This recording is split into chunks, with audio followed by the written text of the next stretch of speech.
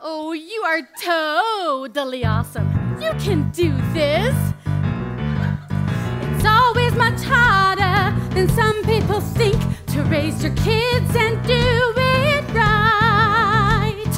All the added pressure to save them from the danger that's lurking every day and night. Having kids is such a balancing act. The love and the hate. Like the swinging of a Ow! gate. The sifting between lies and the facts.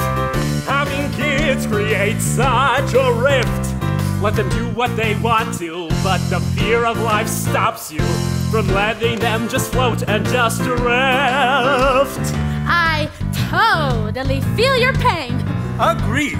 So what do we do as parents who care to teach their kids the right and the wrong? Cause someone has got to teach our little lot to discern between the good and the bad.